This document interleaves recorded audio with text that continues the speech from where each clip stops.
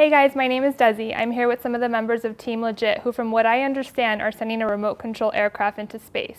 I'm here to ask them some questions and get some more details about their project. So guys, tell me a little bit about your team. Well, I'm Johnny. I'm the mission commander and the equipment specialist. Um, we have a few members that are not here with us today. We've got Don, who's scouting out remote uh, locations of the U.S. to do our next uh, FPV adventures in. We've got James, who's uh, ground control monitoring. He'll be checking the systems, making sure that everything is within uh, normal range. We've also got John and Wes, who's in charge of the search and rescue and the uh, navigation in case anything goes awry. I'll let the rest of the team introduce themselves. Hi, I'm Hove, and uh, I'm ground control coordinator, also uh, flight checklist. And I'm Dennis. I'm the airframe specialist and also part of the ground crew. I'm John. I'm the test pilot. I'll be remotely operating this aircraft. So is it true that you are sending a remote control aircraft into space? Technically not into space. Um, we're actually, our goal is to go up to 85,000 feet, um, which is about 60 miles above uh, the Earth's surface into the stratosphere. Okay, so it's not exactly space, but it's still really high up there. How exactly is this project going to work? Well, we intend to launch the aircraft with a large weather balloon uh, filled with helium. What will happen is we'll release the aircraft uh, attached to this weather balloon into the uh, stratosphere where we'll ascend at about 600 feet per, per minute. Uh, once it reaches our target goal of roughly 85,000 feet, it will at that point be about three times its original size, causing the balloon to burst. The aircraft will then free fall back down to Earth. And how did you guys come up with this crazy idea? Uh, the project started off with uh, watching some YouTube videos of uh, some other people sending up uh, cans of beer or children's toys up into, up into space. Uh, they got some really cool footage and some really, really cool pictures. The project started off with, with that idea, but instead of trying to find the item which free fall back down to Earth, we figured let's fly it back. What exactly is FPV?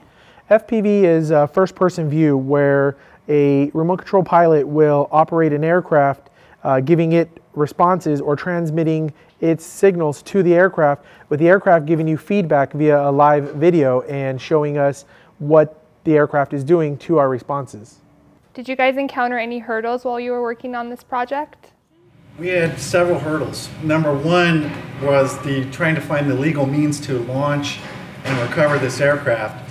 Uh, then we had to come up with the finances to make this aircraft and uh, test out all the systems that were going to be used in this aircraft. Okay, so I have to ask, since you guys are legit, is this project really legal? Well, technically, according to the FAA, it is illegal to operate an unmanned aerial vehicle above 400 feet AGL or outside of line of sight. So according to the FAA, in any circumstances, this would be illegal. However, being Team Legit, we wanted to make sure this project was done with legal means. So what we have done is we've leased restricted airspace provided to us by MCAS uh, to conduct this mission. There will be no air traffic during uh, this mission, so we will not be a potential hazard or a threat to um, aviation or general population on the ground. So from what you guys know, has this been done before? Um, it has been done for a few occasions. Um, none of them have returned back to uh, where it's been launched. So some of them came back several miles away, uh, but it has been done a few occasions. How sure are you that this is going to actually work? I think the team's confidence is high. Uh, through the research and the testing we've done, uh, we believe it'll be successful. What happens if it doesn't go according to plan for any reason? All, we tried to answer all the what ifs. What if we lose video signal? Well, in that case, uh, we have a DragonLink 12 channel UHF radio that has significant amount of range that should be able to make sure the aircraft is within our control. So we would flip a switch activating the Ruby autopilot, which is provided to us by uthere.com. Uh, Ruby is a complete autonomous autopilot that can operate on its own. It's got three axis gyros and stabilizers. From there, the Ruby can turn the aircraft and point it and fly it back to home. In case we lose uh, RC connection or the transmitter is uh, uh, lost connection, the Ruby will automatically initiate a return to home sequence where it will fly back to uh, the launch zone. So let's see this aircraft. Why did you pick this particular aircraft? Uh, we chose for this application the Hercules by uh, Crash Test Hobby. It's got a 63 inch wingspan, it's a flying wing, makes it a great glider, can hold a lot of payload. And how did you build this aircraft?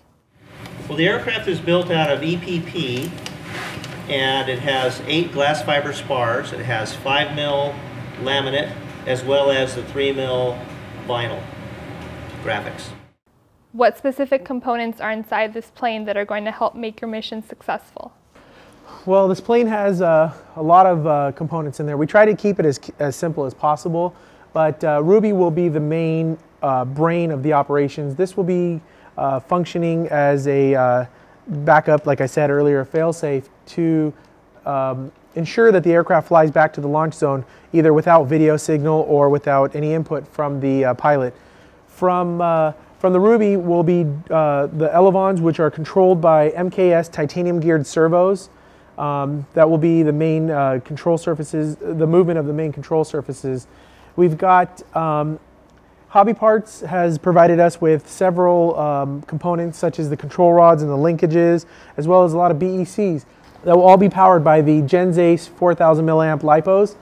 Um, we've also got uh, a DragonLink 12 channel UHF remote control system which can uh, maximize our, our flight range and give us the ability to control this aircraft from miles and miles out. That looks like a lot of work. How many hours would you say you spent working on this project? Um, I think with the research and building the plane, we put about just over 300 hours, all of us combined. What do you hope to accomplish from this project? What's your overall goal? Well, um, as you can see, there's many sponsors on there. So what we hope to accomplish is uh, recognition. Uh, we hope that our sponsors can use uh, this project as a marketing tool. Uh, we also want to demonstrate that hobby grade equipment can uh, do some really spectacular projects and, and achieve some really spectacular goals. Uh, and overall, we just want to have some recognition for the team and uh, for the sponsors. Do you guys have any future plans for any upcoming projects? Well, we are a pretty creative team, so we like to come up with uh, unique and uh, different projects. For now, our main focus is making sure this project is a success, but I'm very confident that we'll have some uh, other projects that are just as epic in the near future. Well, this project definitely sounds exciting. I'm looking forward to see this project in motion, and I'm sure the viewers are as well. Stay tuned to see their progress and click the links below for any further information.